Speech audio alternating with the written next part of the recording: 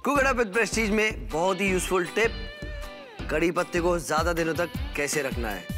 आप क्या कीजिए? कड़ी पत्ते निकालिए, उसे धूप में सुखाइए कंटेनर में रखिए, ये बहुत ज़्यादा दिन तक चलेंगे। अगर आपको वैसे नहीं करना है, आपको ग्रीन फ्रेश पत्ते रखने हैं, आप एक काम कीजिए, एक मसलन क्लॉथ लीजिए, उसे अच्छी तरीके से भिगाइए।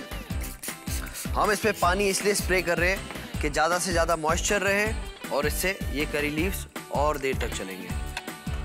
थोड़ा सा और पानी।